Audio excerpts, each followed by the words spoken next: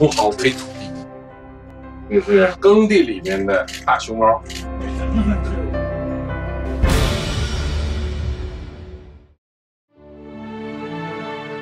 齐民要术中有顺天时、量地利，则用力少而成功多的纪律。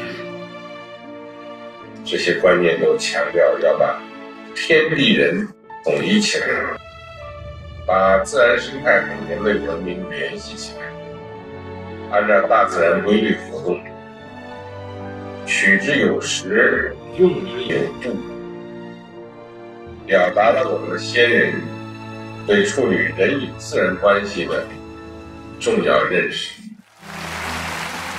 顺天时，量地利，则用力少而成功多。这几句话出自于北魏贾思勰的著作《齐民要术》。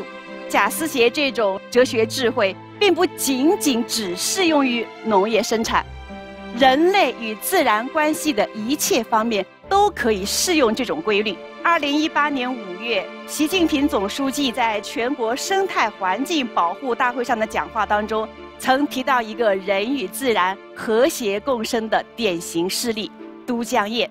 都江堰坐落在成都平原西部岷江之上，始建于两千多年前的战国时期。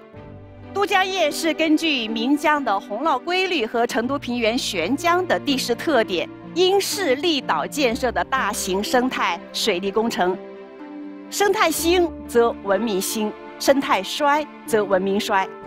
自然与人的和谐共处，正是中国传统哲学智慧的核心理念之一。这也正是顺天时、量地利，则用力少而成功多的思想源头。